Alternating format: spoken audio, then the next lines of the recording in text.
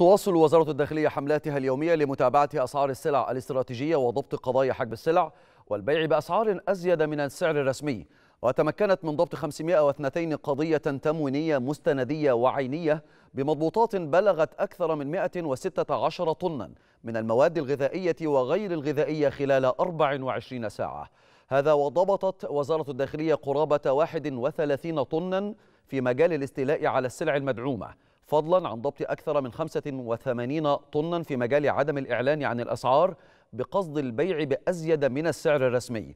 كما تم ضبط 724 قضية في مجال قضايا المخابز.